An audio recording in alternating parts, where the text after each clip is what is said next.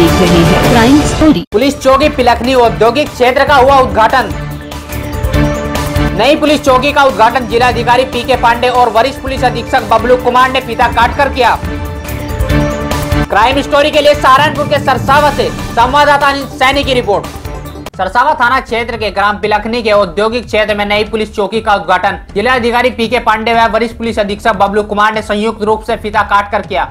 वहाँ सभी नागरिकों व उद्योगपतियों ने जिलाधिकारी व वरिष्ठ पुलिस अधीक्षक के साथ साथ सरसावा थाना प्रभारी यशपाल धामा का भी धन्यवाद किया व उनके कार्यों की तारीफ़ भी की। इस चौकी की मांग काफ़ी समय से वहाँ के नागरिक व उद्योगपतियों द्वारा की जा रही थी। चौकी के आज बन जाने पर नागरिकों में काफ़ी खुशी देखने को मिली। वहीं जिलाधिकारी ने सभी को बधाई दी और कहा कि मुझे भी खुशी है, क्योंकि यहाँ के सभी उद्योगपतियों ने जनपद के इन्वेस्टमेंट में रजिस्ट्रेशन कराया है। पैसरसावा थाना प्रभारी को उनके द्वारा किए जा रहे कार्यों के लिए बधाई देते हुए चौकी के क्षेत्र में गश्त करने के आदेश भी दिए। क्राइम स्टोरी के लिए सहारनपुर के सरसावा से अनिल सैनी की रिपोर्ट।